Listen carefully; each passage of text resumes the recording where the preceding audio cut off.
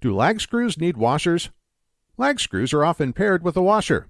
This is done to help distribute and better support the head of the fastener as it is tightened into the wood. Since wood is softer than the metal used in the manufacture of the screws, this added element helps preserve the material and the integrity of the assembly.